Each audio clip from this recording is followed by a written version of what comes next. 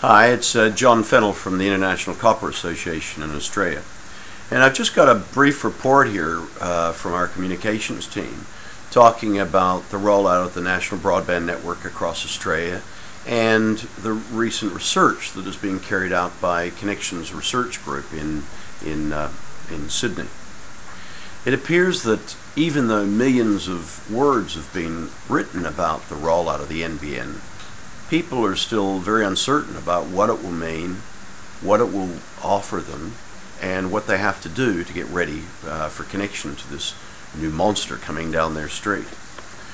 Well, uh, past experience would indicate that a lot of people are used to ADSL and connecting over wire. A lot of people are used to just putting a wireless router in their house. Um, but their wire, wireless experience hasn't necessarily been a good one.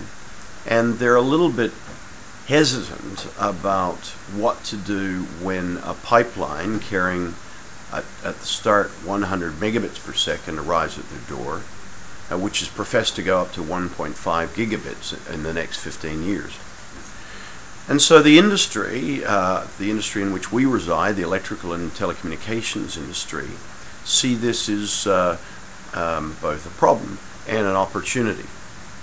How do we get the, uh, the consumer to really understand what they should be doing and how they can move ahead confidently without getting ripped off by a plethora of cowboy installers. That's a challenge. And we've, we've come together as an industry um, to put together the Australian Registered Cablers website to make sure that only accredited uh, registered cablers uh, are, are made available to the consumers and this is backed by organizations like the uh, NBNCA, uh, the Communications Alliance, the uh, DBCDE, the International Copper Association, and installer groups like NECA, uh, TITAB, and BICSI.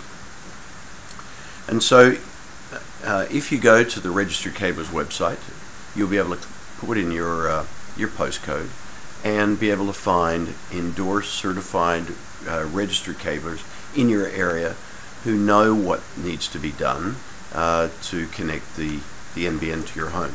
And that it offers all sorts of different information on this site and uh, provides you with the tools to advise the registered cabler how to sort your house out.